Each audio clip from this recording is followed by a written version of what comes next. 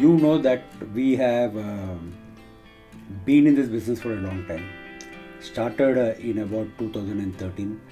Uh, we publish books, we conduct India Running Summit, we do scientific study, we do pacer teams all over the country.